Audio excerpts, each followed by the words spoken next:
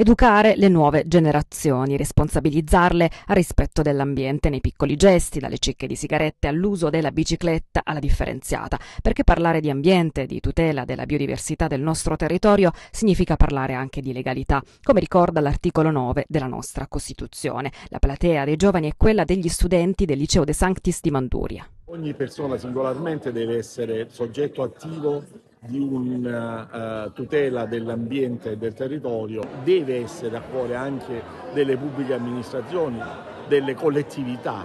L'abbiamo voluto in questa sede perché attraverso gli studenti e il mondo scolastico abbiamo diffuso la cultura del rispetto dell'ambiente e i risultati passo passo si stanno raggiungendo.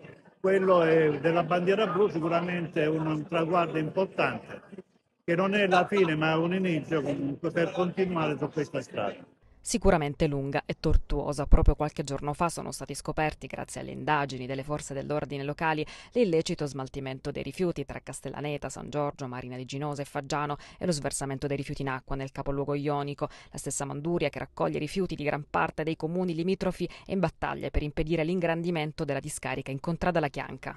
Vogliamo che questo territorio che ha dato molto per questi impianti adesso comincia a essere più rispettato. Perché bisogna far capire alla politica che la sensibilità c'è e non c'è disponibilità a passare sopra determinate cose.